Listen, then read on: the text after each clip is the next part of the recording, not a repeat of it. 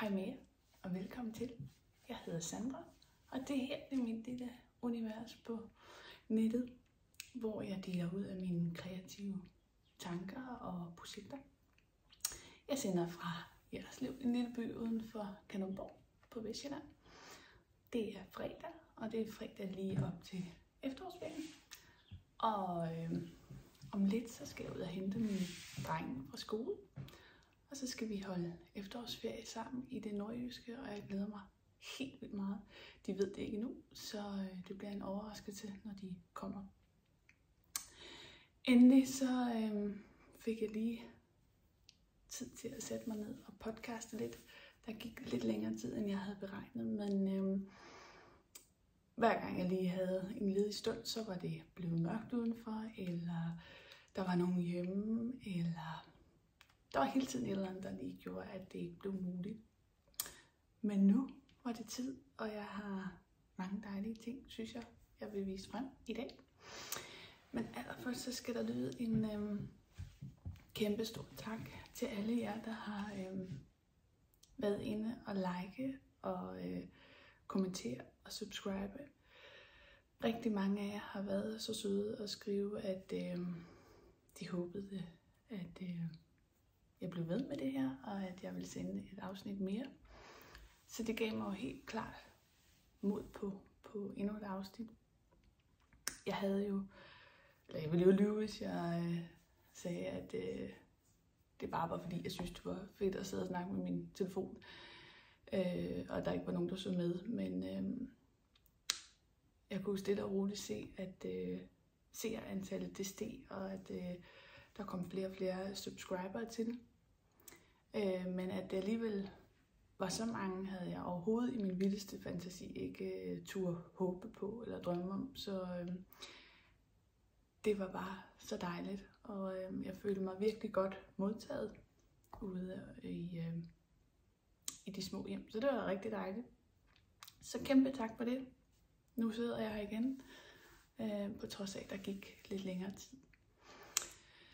Øh, og blive endelig ved med at følge og like og kommentere os, hvis der er et eller andet, I tænker, at jeg ikke får uddybet nok, eller får svaret ordentligt på, eller noget, jeg skal gøre anderledes, så skriv det endelig nedunder, så skal jeg prøve at følge op på det. Men øh, jeg synes, vi skal kaste os ud i det, og jeg vil vise, hvad jeg er blevet færdig med. Det er godt nok nogle uger siden, tror jeg snart at jeg flashede på Instagram, at nu var jeg færdig med min teksturvest fra Helge Især, som er strikket i øhm, en tråd spinny tweed og en tråd øhm, alpaca 3, også fra Især. Øhm, den er blevet helt som jeg havde håbet på. Varm og tyk, men stadigvæk let og, og lækker øh, at se på. Øhm, Sidste gang snakkede jeg om ribkanten her, der går så smukt op i mønsterdelen. Og det gør den også. Man kan se det bagpå. Her. Øhm. Så der er nogle virkelig smukke detaljer, øhm, der er tænkt rigtig meget over. Og der er en fin krav på. Øhm, med italiensk aflukning både for oven og italiensk opslagning for neden. Som altså bare gør, at det er lidt mere delikat at se på. Øh, på den originale, der er sat øh, knapper på. Jeg har ikke fundet de rette knapper endnu, og jeg har faktisk overvejet, om jeg bare synes, at den skal have et liv uden knapper. I så fald, hvis jeg vælger at sætte knapper på, så skal det være en, øhm, fordi jeg lige faldt over sådan en stor benknap eller træknap eller et eller andet. Og så tænker jeg faktisk bare, at der skal en enkelt en på til lige at, at lukke sammen. Ellers skulle det være fedt med en stor, øh, hvad hedder det, trænål eller et eller andet andet lækkert håndværks øh, produceret. Men øh, det kommer, når det kommer. Lige nu lever den fint uden. Og øh, ja, yeah. det var færdig med den. der havde jeg en fridag, og jeg havde længe ønsket mig at besøge Louise, som øh, er indehaver af Nitgarden inde ved Valsø. Hun har sin lille butik i forlængelse af deres hjem på en hyggelig lille firelænget gård. Øhm, stråtrigt idyll lige midt i en lille landsby. Det er simpelthen det hyggeligste sted. Og der har hun åbnet sin butik og sælger lækkert garn til os alle sammen. Det er virkelig en, øh, en køretur værd. Det der er lidt langt for mig, men jeg blev i hvert fald ikke skuffet. Og øh, Louise er noget af det sødeste. Hendes søster var der også, og de er rigtig sødt makkerpar derinde. Og øhm, jeg havde egentlig købt garn til et andet projekt, som jeg lige vil fortælle om lidt senere. Men øhm, det er jo sådan, når jeg går ind i en garnbutik, så forelsker jeg mig i det hele, og prøver og nusser og krammer alt garnet, for at se, hvad, hvad jeg ikke kan leve uden. Og sådan var det jo også, da jeg besøgte Louise. Øhm, og hun havde strikket øhm, My Favorite Things Knitwear Shaf number 1 op i en alpaka 2 fra Især i denne her smukke brune farve. Og øh, da det sad der på ginen, der fandt jeg ud af, at det kunne jeg selvfølgelig ikke leve for uden. Så jeg købte øh, et fed af det, og har brugt 35 gram. Øhm, jeg har lavet en mønsterrapport længere, end den er øh, i opskriften. Men det var for at få lidt længere øh, benesnipper. Men da jeg havde lukket af og fået øh, hvad hedder det, skyllet det op og blokeret, eller blokeret, blokket det, øh, fortod jeg faktisk lidt, at jeg ikke bare havde brugt hele nøglet fuldt ud. Jeg synes, snipperne blev lige korte nok til mine, mine mange dobbelthager her, men øhm, det ved jeg til næste gang. Om ikke andet, så øh, er det dejligt varmt. Øhm, ja, så det blev, øhm, det blev ligesom et hurtigt projekt indimellem, øh, at jeg skulle til at slå op til noget større. Og lige nu er der jo gået lidt sådan mod i at strikke alle de her små halsklude og hårde øh, dutter. Øh, og det kan jeg jo godt forstå, for det er skønne, små, dejlige projekter, der øh, kan være færdige i løbet af en to aftener. Øhm, og der findes rigtig mange af dem derude. Rigtig mange søde og øh, nemme. Og øh, det er jo nemme projekter også for dem, der måske er lidt mere nybegynder ud i strikkens verden. Men i samme ombæring, øh, som jeg lige var ved at øh, lukke mit eget af, så kommer min kollega, som har været på Grønland af flere omgange og arbejde. Og hun kommer, øh, hun havde, var for længe siden vendt hjem, og der havde hun haft et par sælskindsluffer med hjem til mig. Og vi havde ikke fået afregnet, og det var sådan set lidt pinligt for mig. Men øh, jeg spurgte, hvad, øh, hvad med det her? Nu skal vi altså have, have gælden ud af verden. Og så stikker hun mig et fed øh, muskus ud i hånden og siger, kan du ikke lave et eller andet ud af det her? Og jo, tænkte jeg, det kan jeg da nok godt. Øhm, jeg skal lige se, om jeg kunne finde øh, en lille duler tilbage her.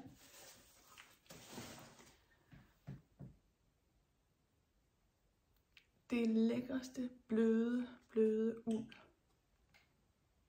fra det her. Jeg tænker, det må være producenten. Og jeg skal spare jer for at udtale det grønlandske her. Det vil være synd. Øhm, men som sagt, hun stak mig det her i hånden og sagde, lav et eller andet. Og så tænkte jeg, jeg ved, at øh, det her muskus okseuld, det er en rimelig bekostelig øh, vare. Så det er jo ikke bare noget med, at man lige øh, sidder og fedter lidt med det. Øhm, men jeg havde en kollega, som tidligere havde lavet et øh, fint lille tørklæde af det. Og øh, det var sådan set også det, min, min kollega gerne ville have. Noget varmt til lige at svøbe om halsen. Ikke for stor, men bare lige øh, her til de kolde dage. Og så viste jeg hende det her, jeg havde lavet, og sagde, hvad øh, synes du om det? Og så siger hun, jamen det passer jo perfekt. Så siger jeg, jeg kunne måske godt tænke mig, at det var lidt længere. Og så siger hun så, jamen så bruger du bare hele nøglen. Øhm, og det her, det er hvad der er tilbage, der er, jeg tror, små 10 gram eller sådan noget. Men jeg kunne ikke nå en runde mere. Men det jeg fik lavet, det var ligesom det andet Sharp.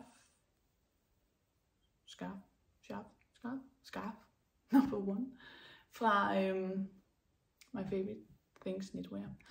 Og det er altså simpelthen det mest delikate at have om sin hals. Jeg har jo lige sådan måtte prøve det. Og det er altså, øhm, det er lige hoppet af pindene, så det er hverken blokket eller vasket eller noget som helst. Øhm, men det er simpelthen så blødt. Og jeg kunne forestille mig, det er i hvert fald ikke græsser nogen.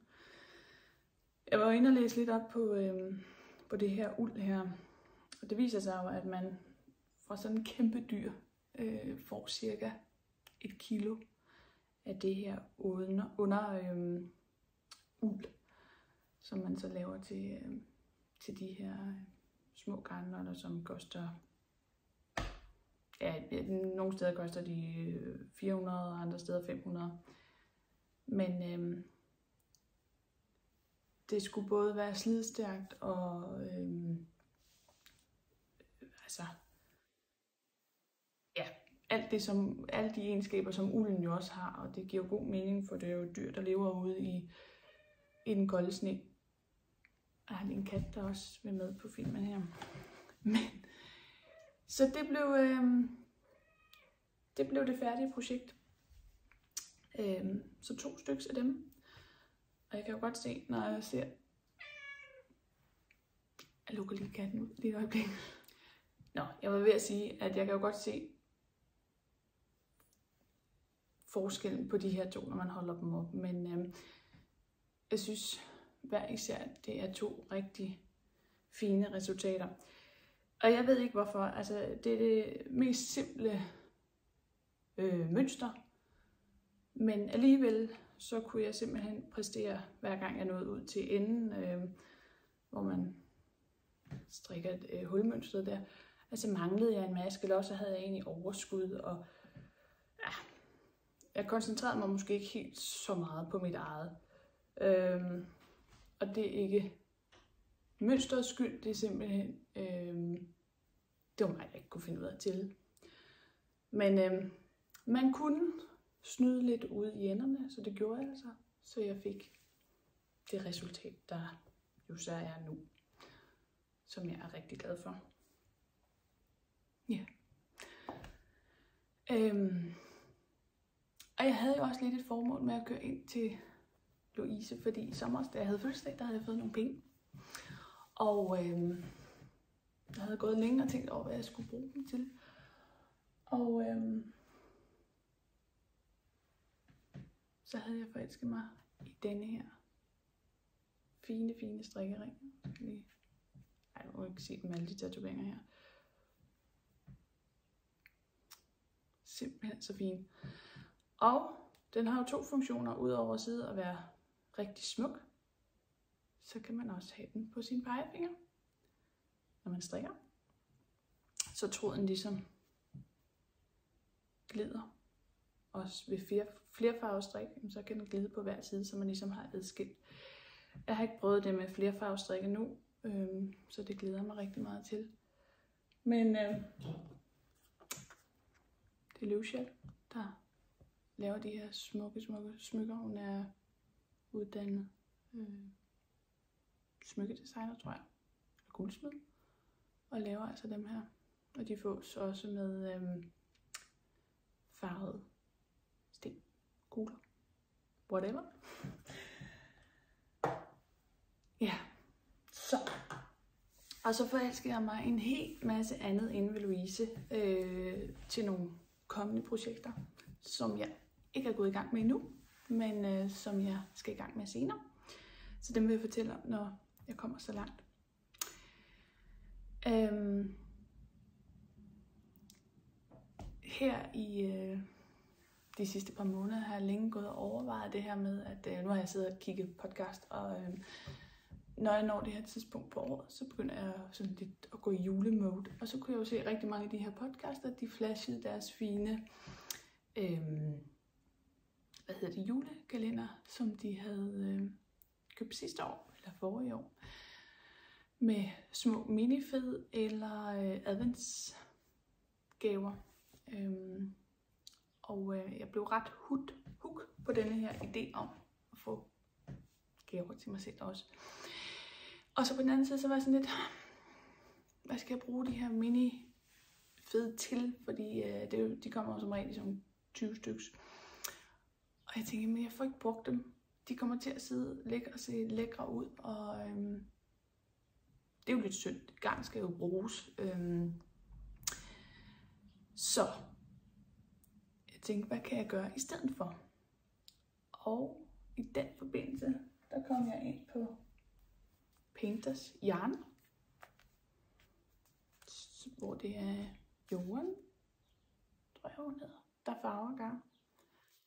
Og hun havde lavet denne her smukke, smukke juleudgave, strømpe juleudgave, med guldtråd i. Jeg håber, I kan se den. Um, og så blev jeg simpelthen nødt til at eje den. Den hedder Christmas Tree.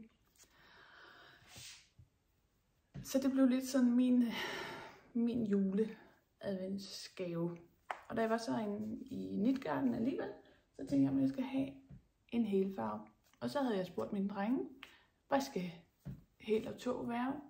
Skal den være grøn, rød eller den lyse? Og så sagde de begge to meget hurtigt i kor, at det skulle være den lyse, og øh, jeg tror mere, det var fordi, de var sådan set fuldstændig fløjende ligeglade med, om mine øh, hæle var røde eller grønne eller lyse. Men i den forbindelse tog jeg det selvfølgelig med ind, og så fandt jeg denne her fra Vilcolana og Vetan. Og den er for mig rigtig, rigtig julerød. Og jeg tænkte, den kan så fint matche med den røde, der er i, øh, i originalgarnet. Så jeg tænker, at det bliver til et par julesukker til mig. Øhm, som jeg glæder mig helt vildt meget. Jeg har med vilje ikke vundet det op, men det kribler simpelthen i fingrene for at øh, lave det til, til et fed, som jeg kan begynde på. Jeg havde tænkt lidt, at jeg ville prøve mig med en øh, bundehæl, altså en afterthought heel. Øh, men jeg er ikke nået dertil, og jeg tænker, at det skal nok ikke være i det her lækre garn, øh, at jeg laver forsøg ud af det. Så det må lige blive et par forsøgsstrømper. Fordi som jeg snakkede om sidste gang, så har jeg lidt de der udfordringer med, øhm, med hullerne omkring øh, hælene. Men så var der en sød seer, der havde øh, givet et øh, godt råd til en måde, hvorpå man kunne undgå de her huller, og hun havde faktisk øh, skrevet metoden. Og den har jeg selvfølgelig glemt at, øh, og se, hvad hed, og jeg kan heller ikke huske, hvad hun hed. Det er rigtig pinligt faktisk. Men øhm, hun var så sød at skrive, at det var altså den foretrukne metode for hende. Og det står altså i, øhm, i det tidligere opslag, eller i min tidligere video, så kan man lige gå ned og kigge, hvad den hed.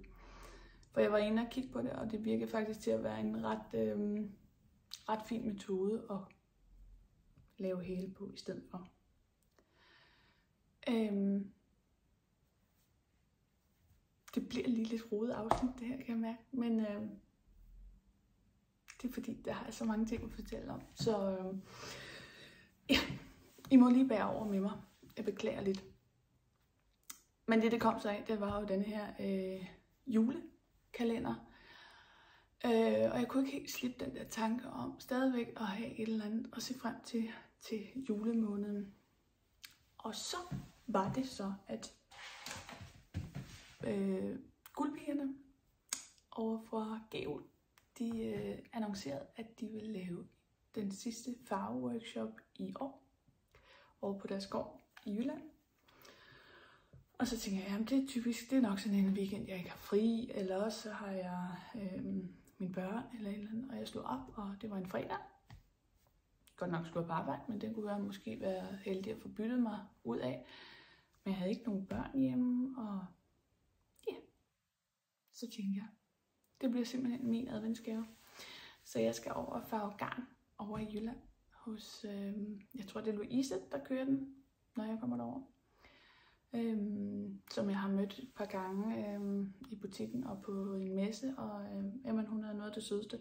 Så det glæder jeg mig sindssygt meget til, og jeg glæder mig til at se deres fine butik, som jo også ligger på, øhm, på den her gård over i Jylland. Øhm, og der er simpelthen så hyggeligt også, hvor de sælger deres håndfarvede garn. Øhm, og det er alt for fristende at komme derind. Så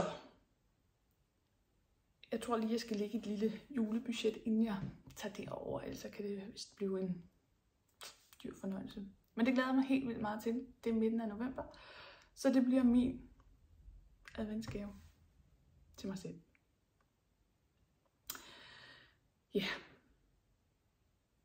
Og hvad har jeg på pinden lige nu? Jeg havde jo tænkt, at jeg skulle slå op til en cardigan.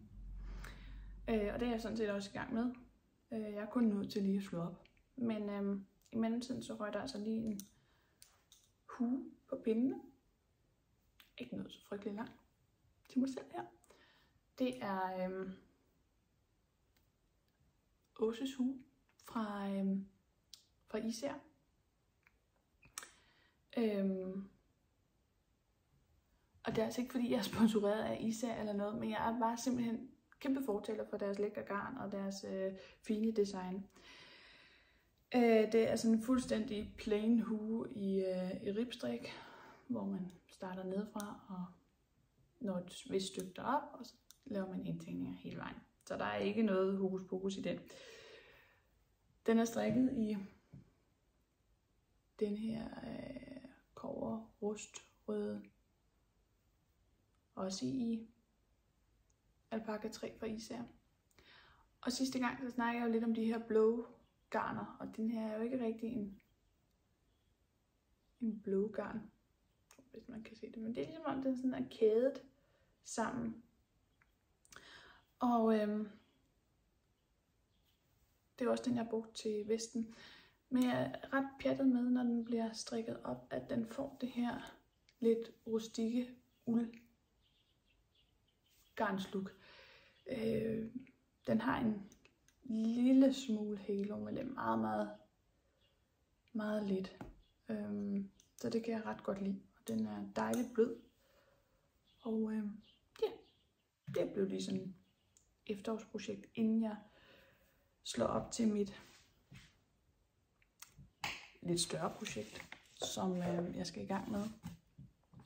Fordi jeg har købt gang. Jeg forelskede mig hovedkulst i denne her cardigan fra Ejnerum, som er designet af Kristin Brynja Gunnarsdottir. Jeg kunne måske godt lige have haft lidt mere svung på min, øh, på min islandske, men det skal jeg spare jer for. Men hun har lavet den her cardigan, der hedder KBG 07. Og øhm, lige se, om jeg har... Den har en smuk, smuk nakke også. Øhm, den forelskede jeg mig i, og den var strikket i deres egen garn fra Egenrum øhm, som er en blanding af en øhm, islandsk uld og en mulberry silk snor. Det er ikke så tydeligt på den mørke farve her, at, øh, at der er sådan en følgetråd med. Øh, men jeg har tidligere haft en grøn, øh, sådan en rigtig øh, army-grøn, hvor det var rigtig tydeligt at se, at den her fine, fine silkesnor lå øh, med i og gav sådan lidt, øh, lidt spil til garnet. Super, super smukt. Øhm, og faktisk så kom det så også lidt af, at øh, Maja Bastrup i sin strikkepodcast lagde op til, at vi skulle lave september i sort. Øhm, har lige gat der igen, gerne ved en. Som sagt, det kom så af, at øh, Barbara Astrup, hun øh, havde lavet denne her øh, hashtag september i sort. Og der måtte man altså godt bruge øh, mørke garner også. Øh, jeg nåede ikke at slå så meget op i september. Men øh, jeg tænker, at jeg kan nok godt nå øh, projektet alligevel. Men så faldt jeg over den her, og normalt øh, ville jeg måske synes, det var lidt for mørkt garn eller eller andet, men den her øh, helt, helt vidunderlige, mørke, brune øh, garn, den kunne jeg altså ikke stå for. Og så har jeg altså et eller andet for islandsk uld. Plus, at den, der producerer denne her, det her Istex, hvilket vil sige, at øh, eller det, Istex er også dem, der laver øh, let lobby og Alafos lobby og alle de her italienske garner. Nej, italienske. Islandske garner, undskyld. Øhm, som jeg har en kæmpe kærlighed for. Så, øhm, og det vidste jeg faktisk ikke, inden jeg fik, øh, fik det hjem. Men øh, det blev jo det blev det i hvert fald ikke dårligt af. Så jeg købte den her, øhm, og de har rigtig nogle rigtig fine farver inde på deres øh, hjemmeside, så gå ind og tjek dem ud. Hvad jeg lige sådan kan se, så er farven inspireret af, øhm, af de forskellige klippearter eller øhm, naturelementer fra, fra, øhm, fra Island. Så det er jo lidt hyggeligt også. Så den glæder mig rigtig meget til at slå op til. Plus, at jeg skal jo have lavet mine julestrømper. Ja. Det var lige det, der sådan var af færdige projekter og næste kommende projekter og igangværende projekter. Så har jeg jo mit øh, tilbagevendende. Kan det være det, når det kun er andet afsnit? Det ved jeg ikke helt. Men i hvert fald snakkede jeg sidste gang om, at jeg synes, at øh, jeg har så meget strik i skabet, som fortjener at komme lidt ud og blive fortalt lidt om. Øh, og fordi det er strikket for, for noget tid siden, så øh, kan det jo sagtens give inspiration. Eller øh, være øh, grundlaget for, øh, for kommende projekter hos andre. Det, jeg skal vise frem nu, det er øh, nok øh, mit maraton inden for strik. Og øh, det var lidt pussy, for jeg havde længe gået og tænkt på, at jeg ville øh, vise den frem. Og øh, her den anden dag, der lancerede Laura Dalgaard sin nye bog. Øh, og hun er også designeren bag den her Moonchild sweater som den hedder. Øhm, og øhm, den begyndte jeg på i vinteren 2021. Og jeg husker meget, meget tydeligt, at øh, hele landet det var corona-nedlukket. Men den dag, øh, hvor jeg skulle hente garnet, der blev der lempet en lille smule på reglerne, så man måtte godt øh, jeg kan ikke engang huske, hvordan det er, det er snart så længe siden, men i hvert fald måtte jeg godt hente garnet inde ved Dorte, inde i striksalongen, som ligger inde på Amager. Og igen er jeg simpelthen fortaler for de her små, hyggelige øh, garnbikse, der ligger rundt omkring. Og Dorte er en af dem, der har øh, sådan en.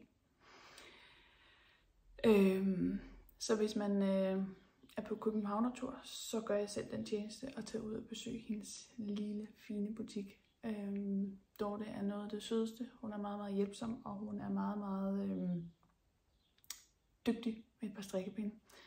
Hun kører også øh, ind på øh, Instagram. Øh, tirsdags tricks, tror jeg det hedder. Tirsdags tips måske. Hvor hun øh, viser forskellige øh, ting, der faktisk er godt at vide i, øh, i strikkeverdenen. Så øh, tjek hende ind inde på strikkesalongen. Hun har ikke nogen hjemmeside, men hun, øh, men hun sender meget, meget gerne og er meget, meget hjælpsom og svarer også hurtigt. Det gjorde hun også, da jeg så den her trøje fra Laura Dalgaard kom på Instagram. Øhm, den består af en hulens masse garn. Men da jeg så hendes udgave, var jeg sådan lidt, den skal simpelthen strikkes i original farver. Øh, nu havde vi været indspærret så længe, så øh, nu gik jeg all in på det her.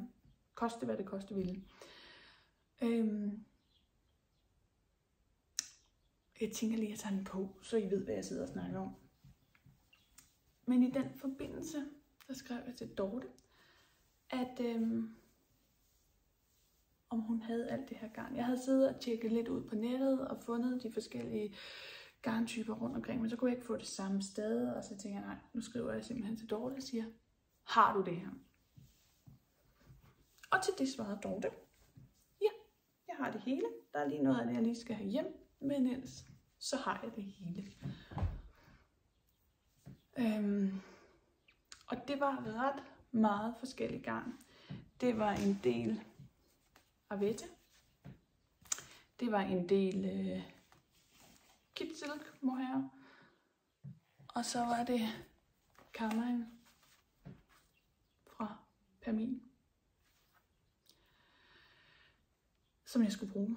Og jeg skrev den her liste til Dorte, og hun vendte ret hurtigt tilbage og sagde, er du sikker på, at du skal have alt det her garn? Det bliver en rimelig øh, peberet sag, du skal i gang med. Skrev, ja, du finder det bare frem og pakker det til mig. Og det gjorde Dorte. Og så var det klar til afhentning den 17. februar i 21. Og mig afsted mod København. Viser det Øhm, og jeg husker den dag meget tydeligt, fordi det var også en dag, hvor jeg fik en rigtig dejlig positiv besked, som jeg havde gået længe og ventet på. Det var rigtig dejligt. Desuden så øh, havde det været snevejr, og jeg gik ind i København og følte mig sådan fuldstændig fri og lettet og glad over den her besked, der kom. Øhm, jeg gik der i de der snedriver, der var frost og koldt, men det var det skønneste, og jeg var simpelthen så glad. Plus, at jeg jo selvfølgelig ikke kunne vente med at komme hjem og slå op til denne her seng. Øhm, det er en intarsia strik. Og som sagt, øhm, var det øh, lidt et maraton for mig. Ikke øh, fordi den er specielt svær, men fordi at hver af de her farver, tager altså lige af igen, den er lidt varm også med her. Men hver af de farver, der er brugt i, er sat sammen af tre nøglergarn. Så til at starte med, så sad jeg med en hulens masse garnnøgler, fordi øhm, ja, ikke lige havde tænkt mig så meget om. Men da jeg så lige blev lidt klogere på det hele, så lavede jeg sådan nogle små nøgler. Og det er jo ikke fordi, jeg har opfundet en dyb tallerken ved det her, men øh, ja, og det gjorde det hele en del meget lettere. Fordi når man strikker en tarsiestrik, så øh, er det jo frem og tilbage. Plus, at man øh, ja, jo veksler mellem de her små fed.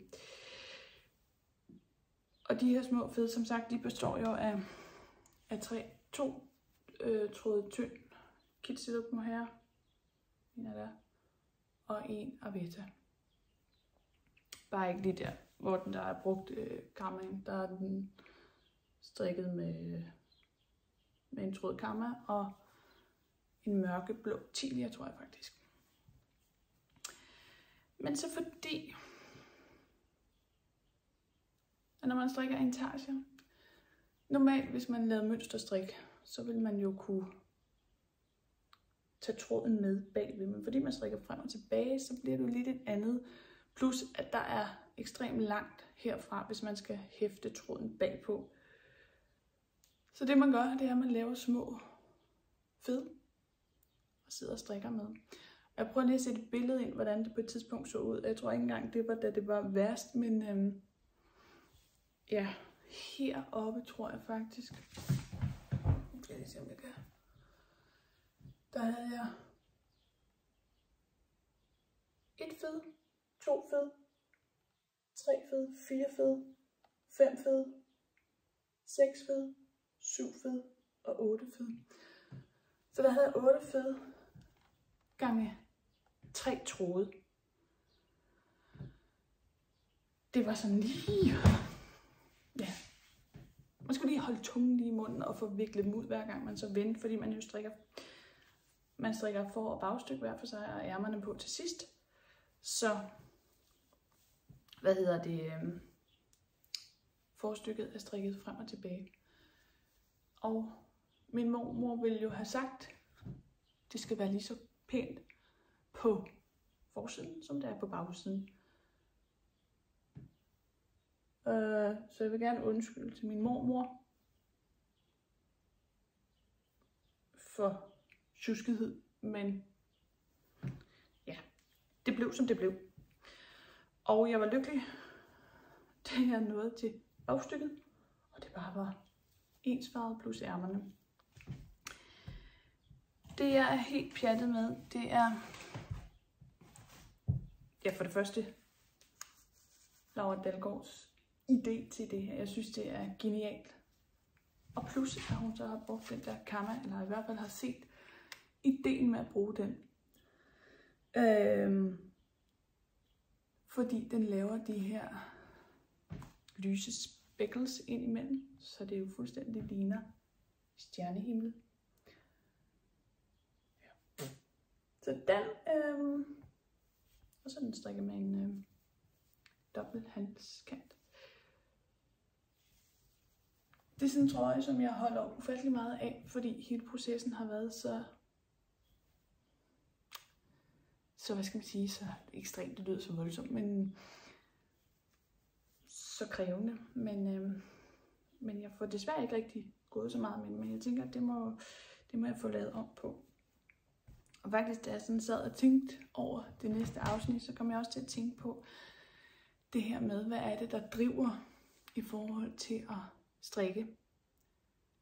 Øhm, for mig er det rigtig meget processen op til, altså det her med at tider tørstrikke øh, rundt omkring på Instagram og finde, øh, finde fede modeller og sådan noget. Så er det processen med at køre i min favorit garnbutikker, udvælge garnet, forelske mig i alt muligt andet. Øhm, og så er det processen med at få slået op. Og lige pludselig midt i, så kører jeg lidt død i det, og så præsterer jeg alligevel at få lavet et færdigt produkt, men så bliver det lagt ind i skabet, og så ligger det faktisk lidt der, fordi jeg har det sådan... Jeg har lidt svært ved at... Det, det er nok den her jantelov. Jeg har lidt svært ved at flashe noget og skulle tage imod, at folk kommer og siger, hold kæft, det er, det er en flot sweaters det her. Eller flot stykke strik. Men øh, så det er i hvert fald noget af det, jeg skal blive bedre til at få brugt min strik også. Øhm, ja. Min kæmpe shout out til, øhm, til den her Moonchild sweater, som øhm, er et fantastisk design. Og øhm, ja, den, øh, den kan helt sikkert noget, og jeg glæder mig. Jeg har ikke selv kigget i, øhm, i hendes nye bog, men jeg glæder mig til at se, hvad hun har fundet på. Og det er ikke fordi, jeg tror, at jeg lige sådan nu og her skal slå op til, til noget øh, vildt. Men øh, jeg tror, lige nu skal jeg bare have noget fuldstændig plan på pindene. Øh, det jeg også vil sige, jeg har set den strikket op i andre versioner, hvor der ikke er brugt, øh, hvad hedder det, det som øh, Laura ligger op til i opskriften. Det er jo et kæmpe godt reste, øh, hvad hedder det, resteprojekt. Øh, hvis man ligger inde med en masse forskellige, jamen så er der jo ikke nogen, der siger, at, at månen ikke kan være grøn, eller Saturn ikke kan være et eller andet øh, orange, eller krateret hernede kan have nogle helt andre farver. Så øhm,